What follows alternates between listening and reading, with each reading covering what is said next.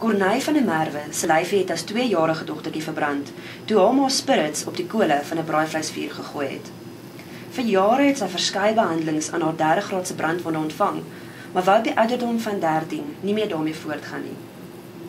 Sy was die eerste Suid-Afrikaner wat behandeling vir brandletsels met nuwe laser tegnologie ontvang het.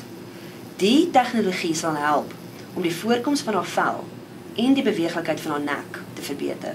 Dr Matteo Tretti Clementoni van Italië het vir 'n paar dokters by die Donald Gordon Opleidingshospitaal in Johannesburg demonstreer hoe die nuwe tegnologie werk.